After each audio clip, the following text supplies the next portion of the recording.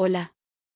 Esta es nuestra lección 3, proceso de resolución de problemas y toma de decisiones informadas. En esta lección, abordaremos la metodología para enfrentar y resolver problemas complejos de manera efectiva y racional. Exploraremos las diferentes etapas del proceso de resolución de problemas y aprenderemos a tomar decisiones informadas. El proceso de resolución de problemas y toma de decisiones informadas consiste en un enfoque sistemático para enfrentar desafíos y elegir soluciones adecuadas. Implica identificar el problema claramente, recopilar y analizar información relevante, considerar diversas alternativas y evaluar las posibles consecuencias de cada opción.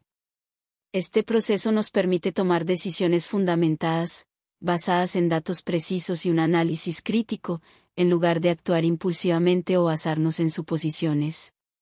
Al aplicar este enfoque, mejoramos nuestra capacidad para resolver problemas de manera efectiva y tomar decisiones que sean bien informadas y racionales.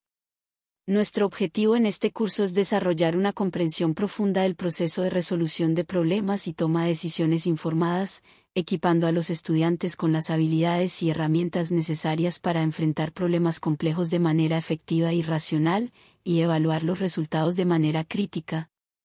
Para ello, en la primera etapa de esta lección, comenzaremos con una visión general del proceso de resolución, destacando la importancia de abordar los problemas de manera estructurada y sistemática.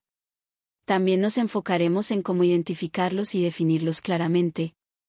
A continuación, abordaremos herramientas y técnicas para recopilar y evaluar información relevante. Aprenderemos a buscar fuentes confiables, analizar datos de manera crítica y considerar diferentes perspectivas antes de tomar decisiones fundamentadas. En la siguiente etapa, nos centraremos en generar opciones y evaluar alternativas. Exploraremos métodos para generar ideas creativas y soluciones innovadoras, evaluando los pros y contras de cada opción les enseñaremos a considerar factores éticos, sociales y prácticos al evaluar las posibles soluciones. Finalmente, abordaremos la toma de decisiones informadas. Aprenderemos a evaluar las consecuencias de nuestras decisiones, considerando los posibles riesgos y beneficios. Guiamos a los estudiantes en la selección de la mejor opción y les proporcionamos estrategias para implementar y evaluar su decisión a medida que avanzan en el proceso. Con este breve recorrido de nuestra lección 3, exploremos el tema 1, pasos básicos del proceso de resolución de problemas, donde abordaremos la identificación, el análisis, la evaluación y la solución de problemas. Nos vemos allí para continuar nuestro aprendizaje.